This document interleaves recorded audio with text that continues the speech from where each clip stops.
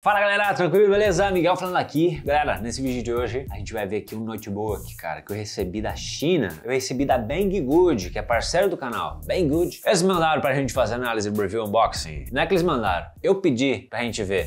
E aí eles mandaram. Então eles foram gente boa com a gente aqui pra gente poder analisar esse notebook da marca BMax. Essa marca, inclusive, que já é bem conhecida em fazer mini PCs, né? Aqueles PCs quadradinho, pequenininho, que tu pode usar colado atrás da TV e fazer a TV virar uma Smart TV. Então essa marca BMax já é bem conhecida nesses mini PCs. Mas o que a gente tem hoje é um notebook, um laptop da BMax, o modelo Y11. Olha só, corpo todo em alumínio, 2 em 1, um, ou seja, ele vira 360, vira um tablet, tela touchscreen com 10 pontos de multitoque, resolução Full HD, painel IPS, boas cores, 8 GB de RAM DDR4, 256 GB de SSD. Qual que será que vai ser desse notebook, hein? E agora o preço. Ih, rapaz que é importante, né? No site da Banggood, R$ 2.200. Será que aqui no BR a gente acha coisa assim por 2.200, galera? O que vocês acham? Interessante, né? Ah, e outro detalhe, claro que a gente tem que cuidar, tá? Nesse caso aqui, eu fui taxado em 500 mangos, taxa de importação, ou seja, o valor foi para 2.700. Igualmente, a gente vai ver ao longo do vídeo se o que a gente consegue aqui no Brasil por 2.700 em termos de notebook, com as funcionalidades que ele traz aqui, será que a gente consegue nessa faixa de preço igual, melhor ou pior? Então é isso aí que a gente vai ver no vídeo de hoje, fica ligado, se gostar não esquece, pode deixar o like, pode se inscrever também. É isso aí então, vamos lá.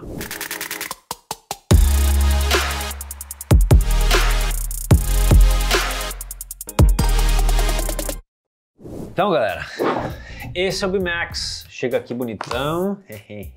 Mostrar aqui pra vocês de, de começo. Tem aqui na etiqueta dele, já na caixa, né? O que, que a gente tem aqui de configuração. Modelo Y11 Plus, processador Intel Jasper Lake, Jaspion Lake, ô oh, louco, N5100. Esse aqui na verdade é um Celeron. Celeron N5100 tem 4 núcleos e 4 threads, frequência turbo de 2.8 GHz e frequência base de 1.1. Em processador a gente não tem dos mais potentes aqui, mas vamos ver. Memória RAM são 8 GB DDR4, armazenamento 200 256 GB SSD. Ó, a tela aqui é de 11,6 polegadas, painel IPS, resolução Full HD. Ou seja, o que, que a gente vai ver aqui, galera? É um notebook 2 em 1, que pode virar tablet, por isso que ele já é uma tela mais, mais reduzida, né? De 11, quase 12 polegadas.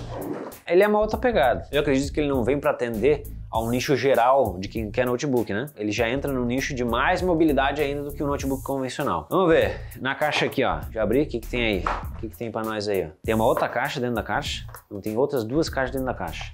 Primeira delas, a gente vai ter aqui carregador, ó, um carregador de ponteira ponteira mais tradicional de notebooks, né? Não chega a ser um carregador com USB tipo C. Uma coisa que eu gostei aqui, ó, a gente vai ver, ele vem com todas as versões de tomadas aqui, né? Padrão europeu, padrão América do Norte. Esse aqui de três pontas maluco aqui, eu acho que é lá pra... É mais da Ásia, né? Não sei, não tenho certeza. Esse tomadão maluco aqui que eu nem sei direito. Ó, aí tem aqui nosso padrão, né? Que é o mesmo que o europeu. Na verdade é o europeu, não. O nosso é três pinos. Ó, daí só muda aqui no... Encaixa aqui, beleza? Aqui dentro é isso. E agora, aqui, ó, Vê que eles usam o logo de um Decepticon, né? E a caixinha, ó, bem fininha. Show, né? O que, que tem aí? Ó, forradinho, caixa forrada. Capricho, hein? Armazenado aqui no capricho. Tem aqui o um manual e aqui acabou, né? É isso. E aí, tá bonitão, ó, galera. E tem uma película aqui de proteção, já vou tirar. Aqui embaixo tem mais outra. Vamos tirar. Corpo todo em alumínio. Aqui é uma proteção de teclado, Pimax, muito bem condicionado. Mais aqui uma película na tela. Capricho, hein? Legal, né? O logo Windows aqui, né? até parece alguma versão de produto da Microsoft mesmo, né? Então, galera, tá aí, ó. Esse aqui é o Max Y11 Plus. Tem o logo aqui em cima no cantinho. Bonitão. Aqui, ó, é tudo uma liga de alumínio toda a construção. Nas bordas aqui, ó, tem uns detalhezinhos que dá um acabamento bem brilhoso, a borda brilhosa, como se fosse uma borda não escovada, mas uma, uma borda realmente lisa. Um dos destaques aqui é para ser espessura, tá? A gente tem um pouco mais de um centímetro de espessura com o notebook assim fechado. E o outro destaque é também no peso, que é um quilo aqui, peso de um quilo. Ó, aqui a gente tem a parte de trás, né? Quatro pontos aqui emborrachados para o contato na mesa, para ser também aderente, né? Ó, vamos fazer ele dançar aqui na mesa. prende bem essa borracha. Tem aqui um compartimento. Eu por hora não sei para que serve esse compartimento aqui. Vamos até ver, né? Que tipo de expansão será que eu posso fazer aqui? Ele tem aqui no, no canto um adesivo da garantia, mas aqui não vai infringir a garantia. Ah, tá, ó. Aqui é o aqui é o SSD mesmo, ó. Acesso facilitado para armazenamento, ó, galera.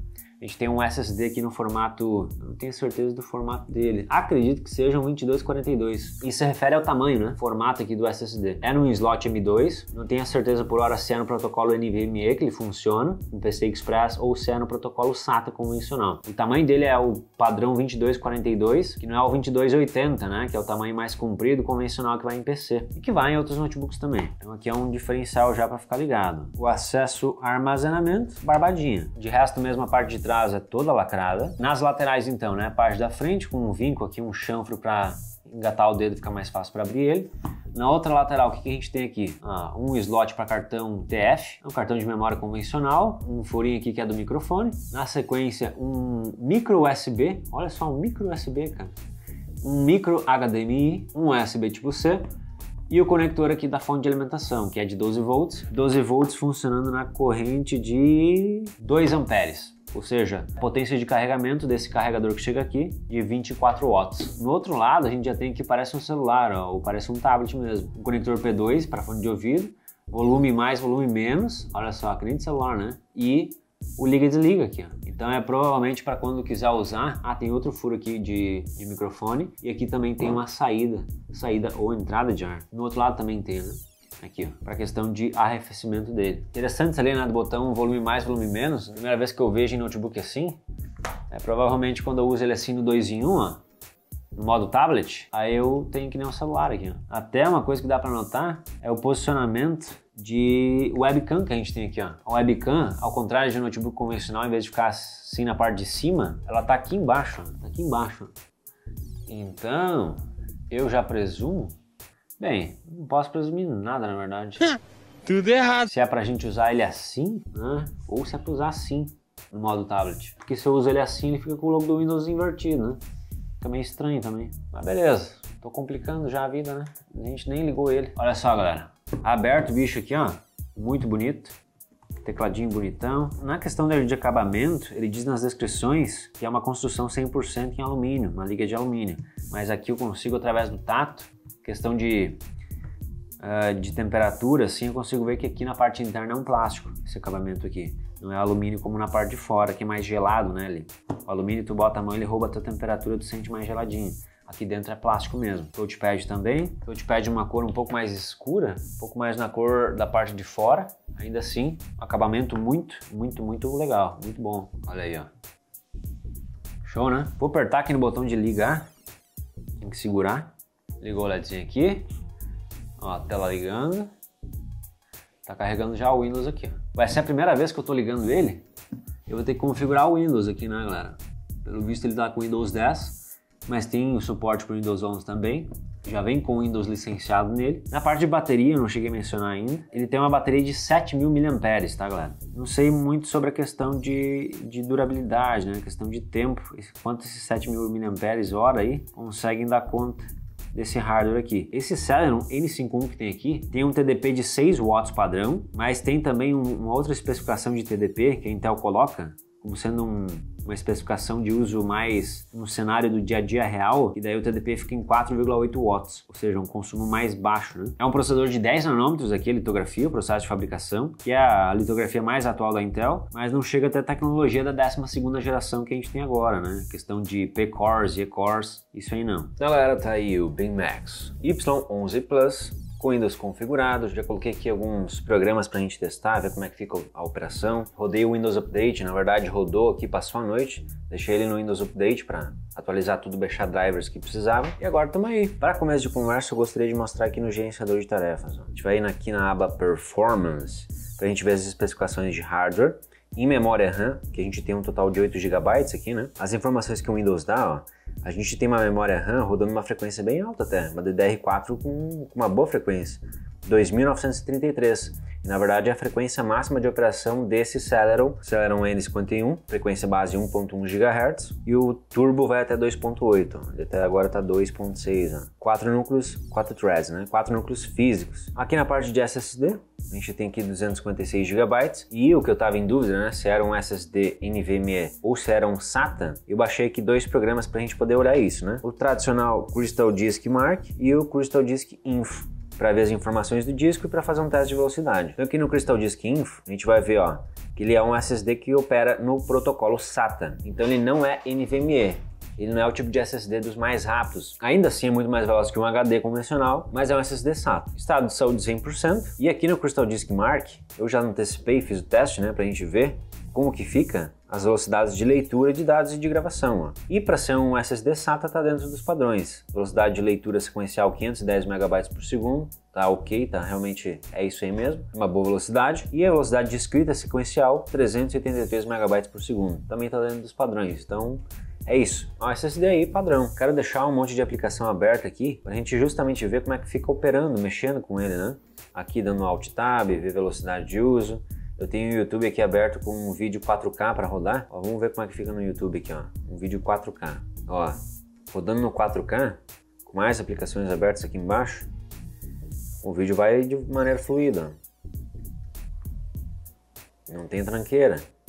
É bacana, né? Nesse tipo de atividade de navegação e trabalho, ele vai bem eu acredito que realmente é o foco, tá, galera? Eu achei aqui também o LibreOffice, que é uma central, que nem a Microsoft Office, né? Para editar planilha, texto, apresentação de slides, só que esse aqui é grátis. Aí que é bom, aí que a gente gosta. Abrir aqui, ó, um Writer. Vou abrir mais um. Vou abrir aqui o S-Calc, que é o, o Excel de graça.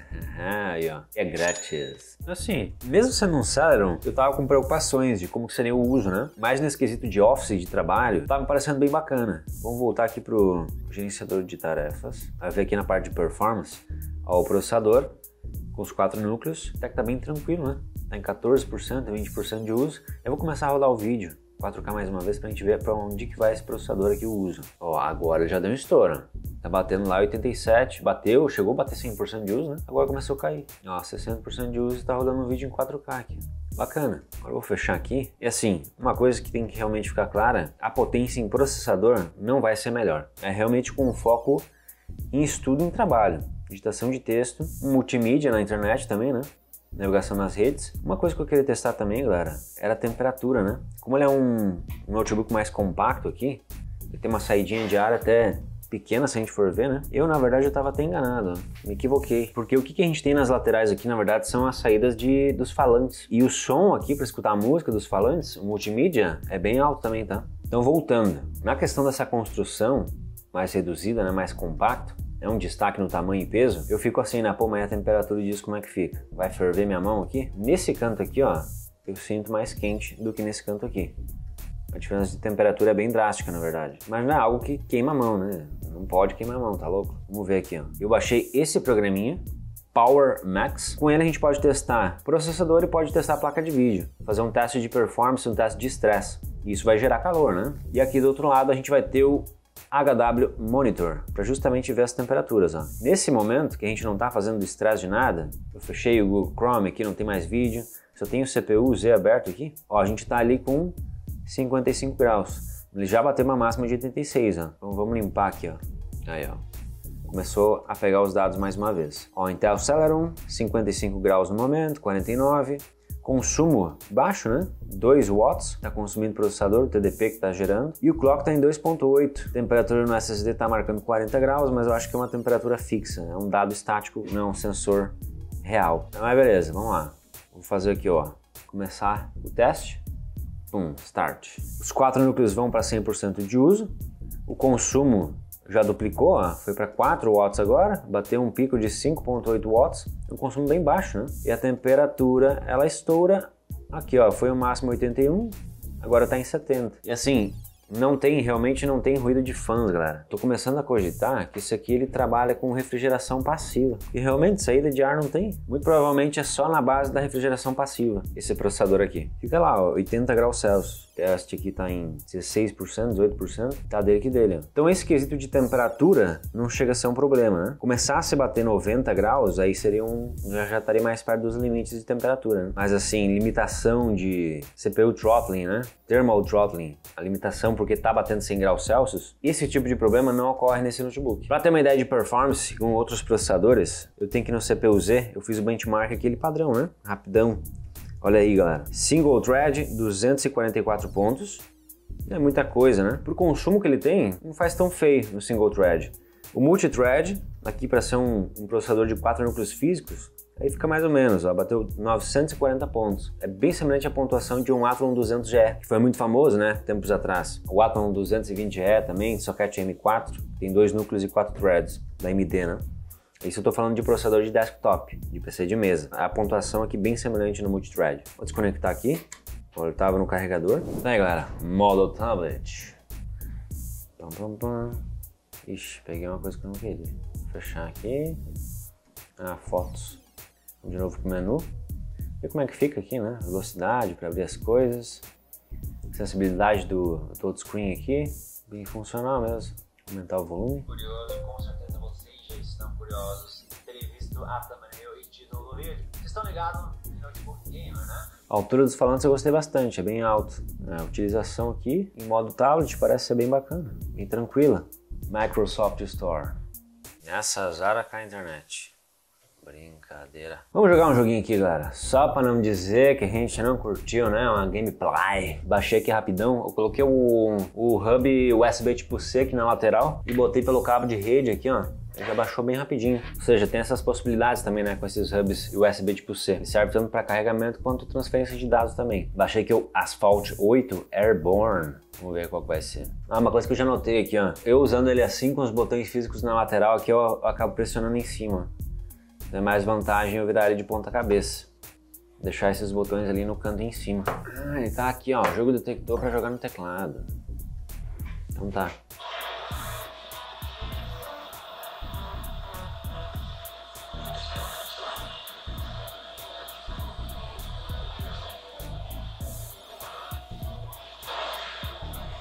Já quebrei um.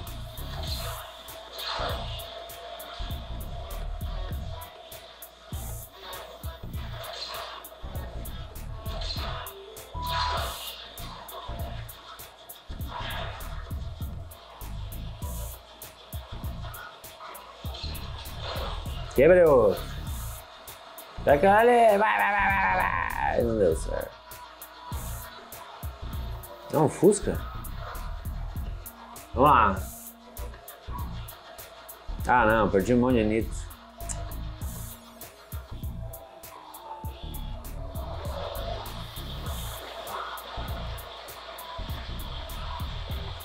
Ó, tá dando uma, uma avalanche?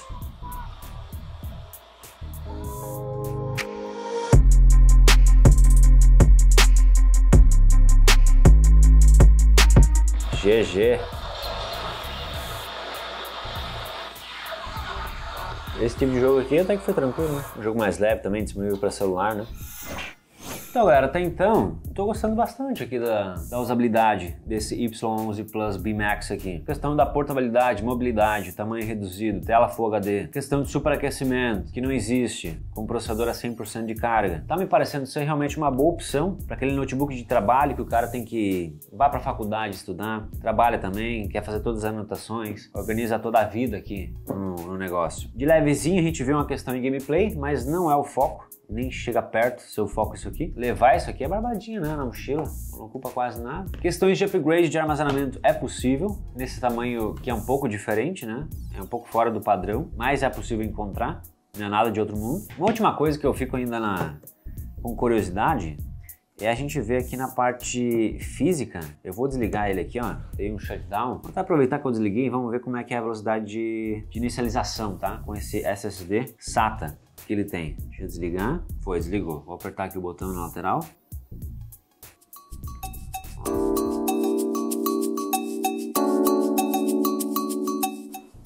Feito. Ah, deve ter batido uns 20, 20 e tantos segundos indo para 30, eu imagino. Eu não contei, eu imagino. Bom tempo de inicialização, né? Já tá aí disponível para uso. Menu iniciar já abrindo, operando. Iniciador de tarefas aqui Ó, tudo na mão. Vou botar ele para desligar de mais uma vez. Eu tô curioso ainda sobre a construção dele, tá? Na parte de trás. Questão de memória RAM também é uma dúvida minha. É uma memória RAM DDR4 que está operando com uma boa frequência, que nem a gente viu antes ali, quase 3000 MHz. Só que no Windows estava dizendo que estava usando um slot de dois. Então não sei se realmente fisicamente a gente tem aqui a presença de dois slots de memória RAM DDR4. Se for, né, tem uma possibilidade de upgrade de RAM ainda para até 16 GB que é o máximo que esse processador também consegue reconhecer, consegue trabalhar. Então, na verdade, seriam duas opções né, de expansão aqui de melhoria, tanto em memória RAM quanto em armazenamento normal, né? Mas vamos ver, vamos ver qual que é. Às vezes também pode ser uma memória RAM soldada, né? Então ele acaba limitando nessa parte. Enquanto eu vou abrindo aqui, eu vou falando, tá? Minhas considerações mais finais, já que a gente está chegando aí nos finalmente desse vídeo sobre o Y11 Plus B Max. No geral, construção eu gostei muito, acabamento achei muito bom. É, o tamanho, a tela reduzida a 11,6 polegadas. Acho que é bacana, é, é, dentro da proposta de mobilidade. É o tamanho e peso também muito bons. Agora, para quem se preocupa mais em performance, é que ele pode talvez ser o ponto mais fraco na performance de processador. Memória RAM não vejo problema, armazenamento também não vejo problema, mas como a gente viu, não trava na hora de codificar, na hora de, de rodar um vídeo em 4K na web, para edição de texto e trabalho de modo geral, né? Também dá conta. Então, na verdade, ele é bem funcional em todos esses aspectos aí. E de quebra ainda tem esse recurso de tela touch, um 2 em 1, um, né, que vira o tabletzão. E o que mais vira interessante, né, galera? Isso aí custa 2.200. Diretamente na Banggood, claro, né? Diretamente da China lá. O cara pode ter um azar de ter uma taxa de importação. Foi meu caso também de 500 reais. Então, no meu caso, ele custou para mim 2.700, né? E aí, se a gente olhar no Brasil, 2.700, um notebook novo hoje, em corpo metal, certo que esse aqui não é 100% metal, né? Mas o que a gente vai encontrar é em construção em plástico. Ok, a gente encontra notebook no Brasil nessa faixa de preço, a notebook 15.6 polegadas com teclado numérico. Então, na questão de trabalho com números, facilita mais. Alguns têm tela Full HD, outros não. E o painel mais simples, painel TN, aquele painel que olha de lado, a tela ela fica quase no negativo, a imagem. Então tem esses pontos. E no quesito de performance, é levemente mais forte também. Notebooks aqui no Brasil, né, nessa faixa de 2.700, 2.800.